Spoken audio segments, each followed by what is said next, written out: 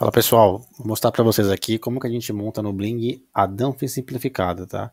A DANF simplificada nada mais é do que a nota fiscal, mas do modo simplificado, onde você pode imprimir na sua impressora térmica. Com isso você ganha uma agilidade bem grande na sua expedição. Não precisa ficar imprimindo no papel sulfite, depois ter que dobrar, colocar naquele saquinho, né? Você pode imprimir na impressora térmica como etiqueta e colar diretamente no seu pacote, tá? Então, tô com o Bling aqui aberto, vou ali no menu do lado direito, preferências, Aí eu vou em sistema. Aí eu vou em etiquetas customizadas. Dentro do menu etiquetas customizadas, eu vou em nota fiscal, modelo de nota fiscal. Aí eu vou do lado direito e coloco o tamanho, tá?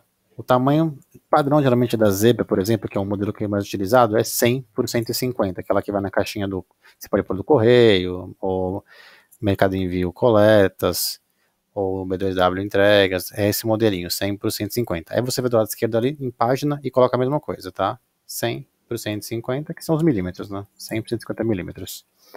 Volta na etiqueta e vai ter ali a etiqueta onde você pode montar ela ali, tá bom? Então você pode ver que já vem algumas coisinhas padrões, como logo, CNPJ, endereço, fone, e você pode mudar essas informações. Do lado esquerdo, você pode ver que tem informações como é, total da nota, número da loja virtual, se caso você tenha seu e-commerce, quantidade de volumes, peso bruto, peso líquido.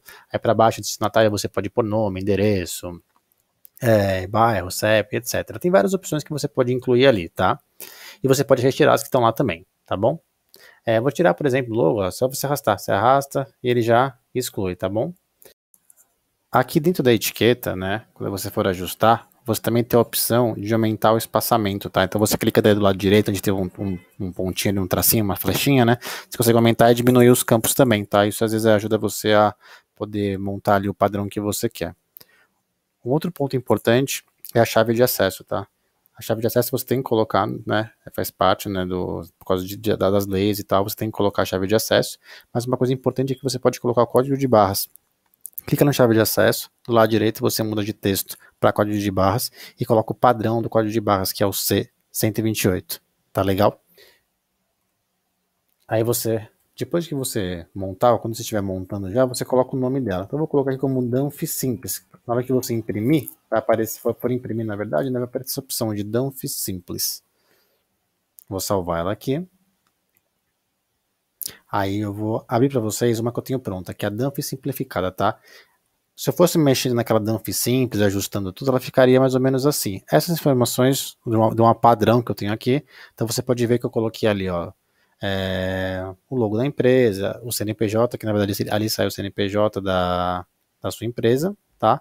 Telefone, texto, é, ali embaixo você pode você ter a chave de acesso, que a gente colocou a chave de acesso porque é importante, e embaixo lá tem o nome do comprador, tá? Nome, CPF ou CNPJ, tá?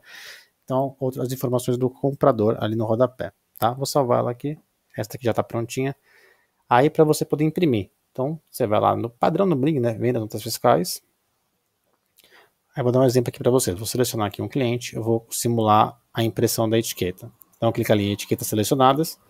E você coloca um modelo que você criou. Vou colocar aqui a DANF simplificada para vocês verem como que fica, tá? Essa é aquela que está tá prontinha, tá? Ó, ela fica assim, tá? Depois de estar pronta, tá bom?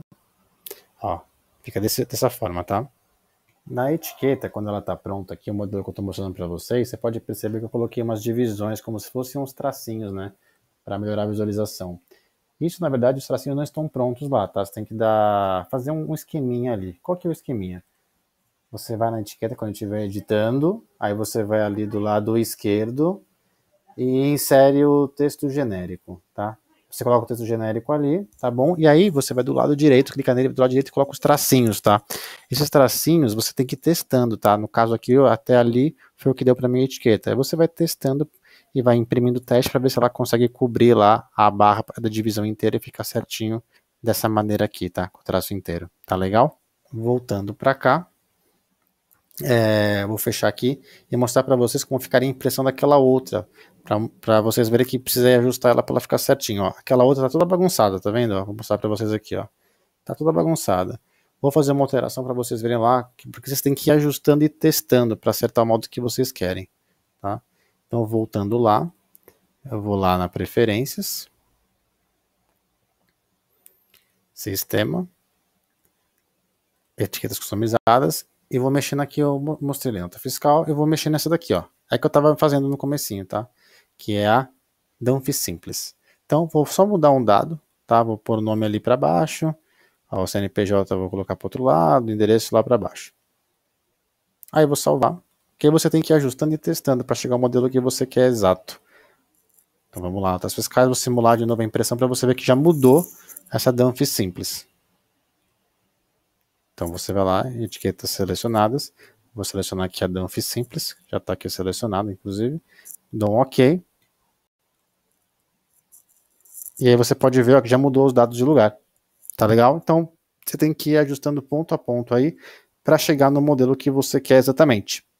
Tá bom? Aí é só imprimir, isso vai sair na sua impressora térmica, né? Você clica ali em imprimir, coloca a sua impressora, no caso aqui, a que está utilizando aqui é a Zebra, a GC420T, e quando você mandar ela imprimir, ela vai imprimir igual a etiqueta do Coletas, por exemplo.